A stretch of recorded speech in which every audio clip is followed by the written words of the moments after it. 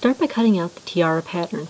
If you've done the bracers, then you probably already have this template downloaded. If not, you can download it for free at thewoodlandelf.com slash pattern slash wonderwoman. At this point, you're only cutting the outside line of the pattern. Once you've got the pattern cut, you're just going to trace that onto a piece of Pellon and then carefully cut it out. So then you'll get yourself some of the same silver material you used for the bracers. Again, I found this at Joann Fabrics. You'll just lay it with the shiny side down, hot glue your Pellon to it, then carefully cut out around it, leaving a quarter inch overlap all the way around. And then of course you'll just hot glue the overlap down on the back side of the tiara. Then go back to the template and cut along the inner line of your tiara pattern, all the way around. Then trace it onto a piece of Pellon and cut it out just like before. So this time you're going to use gold shiny fabric and you're just going to take the piece of Pellon you cut out, hot glue it to the back side of the gold fabric, and cut it out leaving the quarter inch out round for hot gluing just like before. And so here's the gold and the silver, and the gold should fit right over the top of the silver with just a little bit of out round of silver underneath. Next take a gold or silver star stud, and you're just going to push that right through the gold layer of the tiara, and then hot glue the gold and silver layers together. So then you'll drill two holes in the tiara. So take a sharp object, and just poke the holes right through. Then you're going to take a scrapbooking brad, push that through the holes, and then spread the tails out on the back side. Next you'll drill a hole in the back end of each side of the tiara, and then you'll just run a piece of thin elastic through each hole and tie it off. And so here's the finished tiara and the elastic will hold it on your head. So for the boots, I found an old pair of second-hand riding boots that were red. Then I took my gold fabric and I cut a strip with a raised center point. So the way you do that is you just fold your material in half and cut a curve on the top and the bottom, and then you just unfold it and you have your strip. So then you'll take your hot glue gun and you're just going to hot glue the edges about a quarter of an inch all the way around the strip. Then just take yourself a gold star stud, push it right through the center of the strip, and then bend down the feet on the back side. Then take your red boots and just hot glue the gold strip right around the top edge, making sure the center point is higher than the boot tops. And so here are the finished boots. You can also do some plain gold strips down the front center of the boots if you want, but I chose not to. So moving on to the belt, cut out all the belt pieces of the template, and the dotted lines are there to show where the pieces will eventually overlap. And so then once again, you'll just trace all the pieces onto Pellon and cut them out, glue the Pellon to the sparkly fabric, and then cut out the sparkly fabric, leaving the quarter of an inch overlap. Hot glue on onto the back side, just like the bracers and the tiara. Here are the pieces once they've been covered in the sparkly fabric. The biggest piece is silver, and all the other pieces are done out of gold, and then you'll just end up hot gluing them together in the order that I'm stacking them here. So then you're going to drill a hole in the lower outside corner of each of the top three pieces of the belt front, and then slide a brad into each of the holes. So then cut yourself a strip of Pellon 2 inches wide and long enough to go around 3 quarters of your waist, and then you'll fill up the rest of the waist length with little squares 2 inches long and 2 inches wide. Then take your silver material and you'll cover the long strip and the little squares with that, once again leaving the quarter inch to hot glue over the edge. So here are my silver colored squares. Then you're going to take the belt front, you're going to loosen the top two brads, then you'll push one of your silver squares against those to get the indentations, and then just poke holes where those indentations are. Then just slide the two brads on the top of the belt front through those two holes, and spread the points out on the back.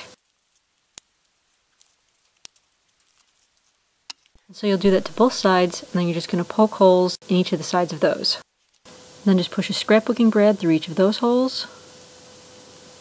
Press it onto your next square to get the indentations. Poke holes through each of those indentations. And then slide that right over the scrapbooking brads, through the holes, and spread the tails out on the back side. And then you'll just poke holes in the end of that, and of course you'll just keep going until you get enough to cover the front quarter of your waist. So you should have this. And so then you're just going to take the long silver strip that you made before, and you're just going to attach that to the sides of the squares the same way by drilling the holes and putting in the brads.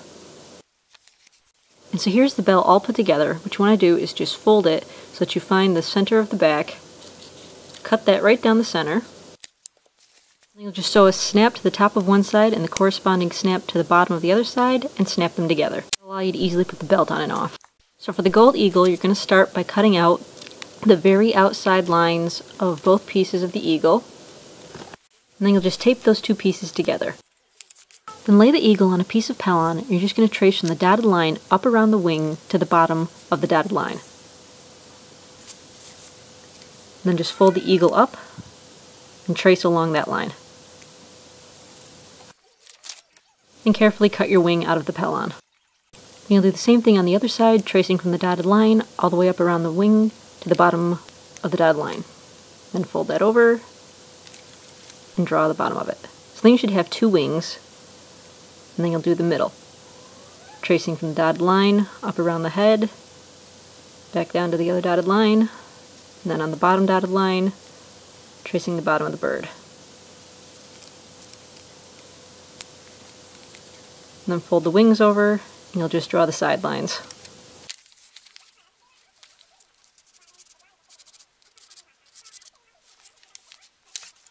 And then cut out the bird body. Then what you'll do is hot glue the wings to the body so that they stick upright.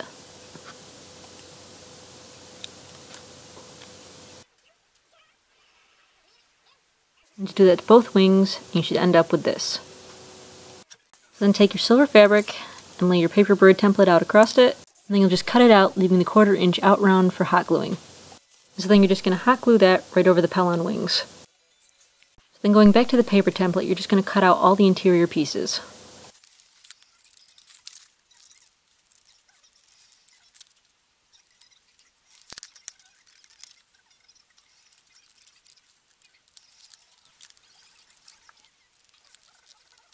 You should end up with this. So then you want to cut one of each of the middle pieces and two of the wing pieces. So then just lay your pieces on the Pellon, trace them, and cut them all out. You should end up with this. So then of course you just put all the Pellon pieces on gold fabric and cut out around them leaving the quarter of an inch out round for hot gluing.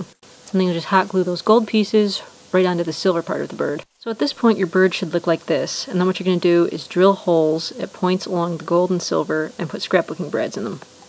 So once again, drill your holes, and then just slide in a scrapbooking brad and spread the tails out on the back side. And so here's a close-up so you can see where all the scrapbooking brads go. And then once you've got all the brads in, you're just going to set the eagle aside and we'll be attaching that to the red corset in part 3 of the tutorial.